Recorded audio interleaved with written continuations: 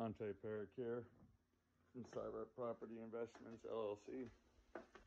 I'm going to be comprising Crow Holt Building Products. Uh, also soon. I wanted to show you guys the bricks from yesterday. I soaked these this morning. They're still solid as can be. But I wanted to also get you guys to see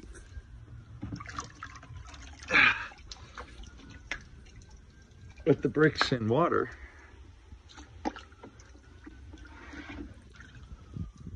are doing. As you see, they're very strong. I'm able to pick them up. Uh, we weighed them yesterday. I believe it was at 14.6 pounds.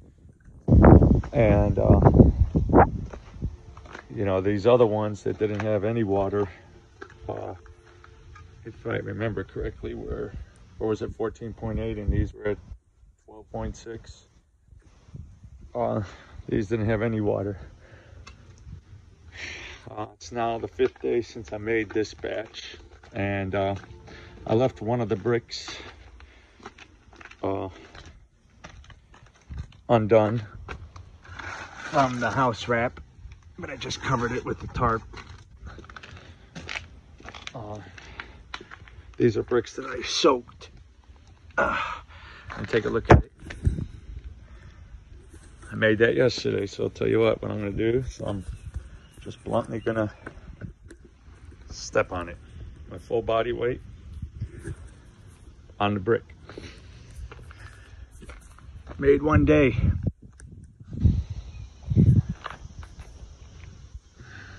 Made a day ago.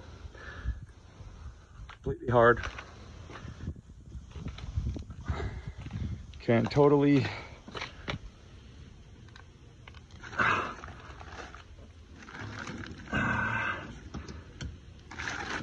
I'm going to presume build with it as it is. I don't like assumptions.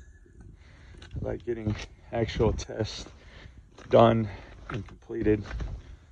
And I'm going to show you people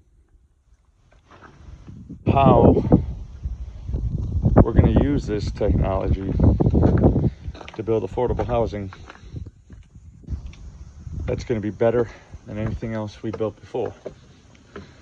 It's going to be stronger, more durable, more sustainable. Uh, we're going to solarize it. And we're also going to put uh, solar power for the radiant heating that we're going to use. We're going to use like a type of geothermal, but uh, more or less radiant for the heated floors. Um, the reason I want to do that is since the house will keep a temperature from what I read from all these different uh, writings, publications about uh, compressed stabilized earth block, since the thermal mass will keep a temperature of about 65 to 70 year round around the house, well, obviously here in Ohio, right by the lake, in the snow belt, we get affected. So I wanted to clearly document how this, uh, how these bricks uh, maybe with a heated floor would suffice because nobody wants to wake up and walk on a cold floor. Um, therefore, reducing a great amount of energy costs and reducing uh, waste and saving our environment all at the same time. No need for planting trees when we can make blocks from dirt to build houses and save the trees.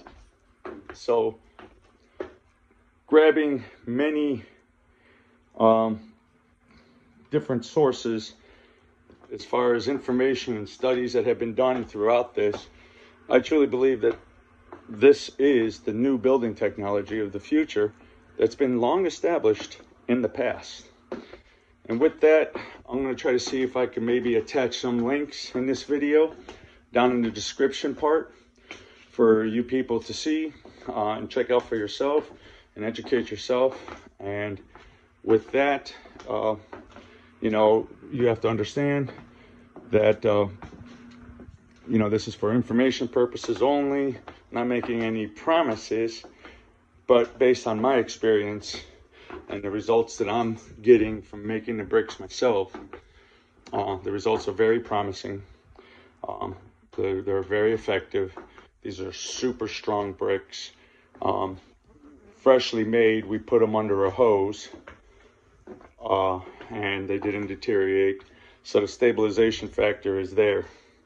Uh, my only question is, how will it last when it's completely submerged underwater for a period of 17 days? Because those were put in water four days after they were made.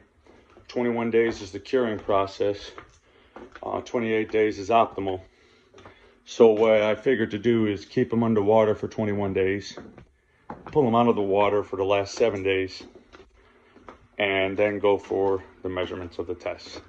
Again, a process, but we got four different sets of bricks. We'll, we'll be able to include a lot of variables and find out which proves to be the better brick.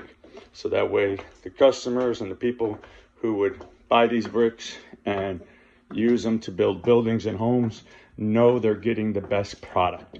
And what I'm going to do in comparison is I'm going to go to a, a, a local merchant here by me, whether that be Home Depot, Lowe's, or Menards, and I'm going to grab several of their bricks. Um, the bricks that uh, they use, and I could be wrong, so, uh, you know, if I am, I'm just going to give notice right now. I, I do not know whether or not they are fire kiln or not. Um, I'm going to presume that they were put in a fire kiln, and I'm going to presume that uh, the typical manufacturing of the bricks was uh, done as pretty much many other bricks in this world are. And we're going to do a strength comparison, uh, and I'm going to grab clay bricks. I'm going to grab uh, uh, what are they called? Forgive me. I'm also going to grab uh, cinder bricks and we're going to grab several different types and do a strength comparison. Um, simple tests. Some are going to be me dropping them on top of concrete. Some are going to be uh, pressure. Uh, so we're going to put them in like a vice-like thing that measures PSI. And we're going to see where the brick shatters at, at the PSI.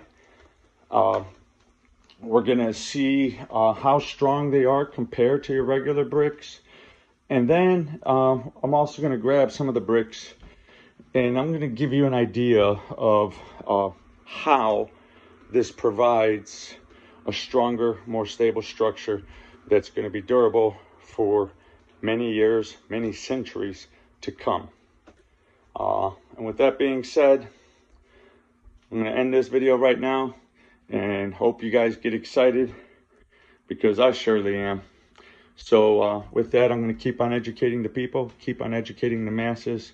I'm going to show you the better way to build a home.